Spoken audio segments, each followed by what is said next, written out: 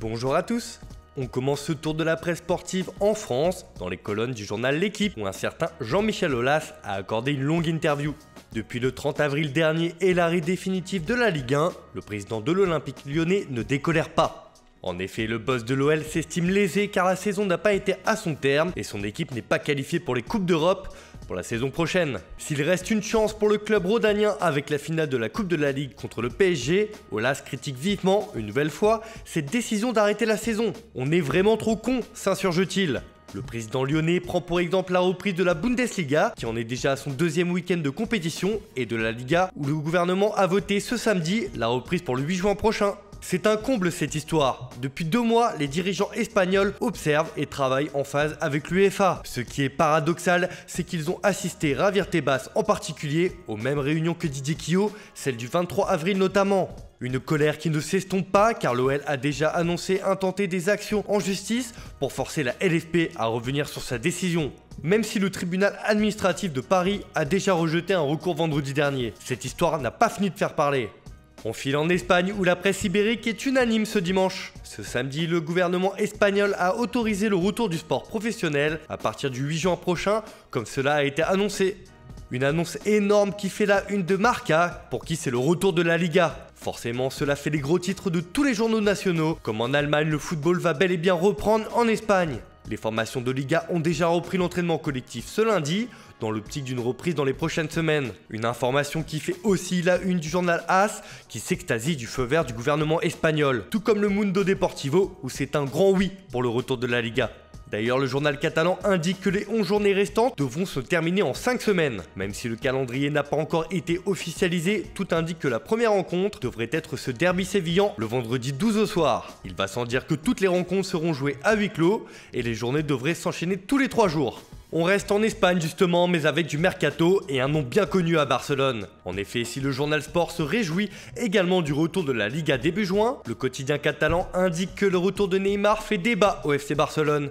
Kike Sétienne le veut, comme il l'a confié samedi dans une interview, mais le transfert sera très compliqué à réaliser. En interne, s'il y a une signature qui réunit vraiment le vestiaire, le staff et la direction, c'est sans aucun doute celle de Neymar. Sauf que le Paris Saint-Germain ne va pas se laisser faire et se sait en position de force par rapport à la situation actuelle et la crise liée au coronavirus. En gros, le Barça doit attendre que la relation avec le club parisien se détériore au fil des mois pour passer à l'action. Car on le sait, les Blaugrana ont de grandes ambitions pour le prochain mercato estival. Les Catalans ont comme priorité de recruter Lautaro Martinez pour prendre la succession de Luis Suarez et de s'attacher les services d'un milieu de terrain comme Miralem Pjanic. Pour espérer un retour de Neymar, le Barça est conscient que cela sera possible que si un échange de joueurs a lieu avec le PSG. Pas sûr que les champions de France en titre ne l'entendent de cette oreille, eux qui ont déjà joué la montre l'été dernier. Direction l'Italie, où là aussi il est question du mercato du FC Barcelone. Comme évoqué juste avant, le Barça veut recruter Miralem Pjanic de la Juventus, mais la vieille dame veut elle récupérer Arthur dans la transaction.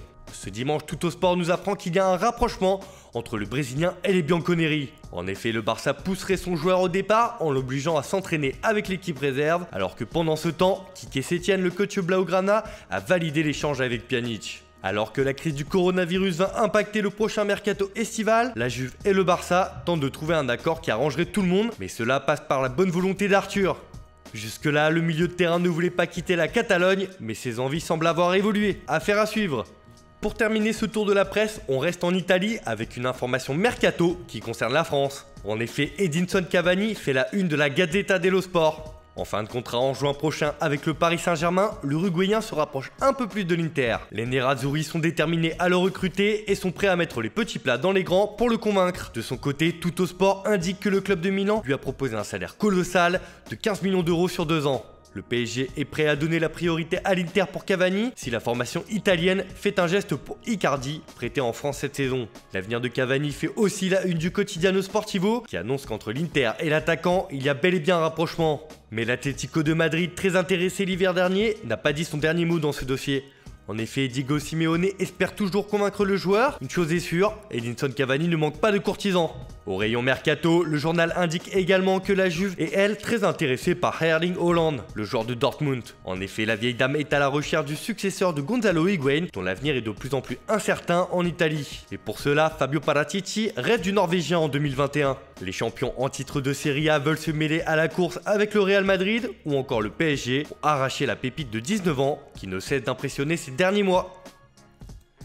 Voilà, c'est tout pour aujourd'hui. Merci pour votre fidélité. On se retrouve dès demain pour une nouvelle revue de presse sur Foot Mercato.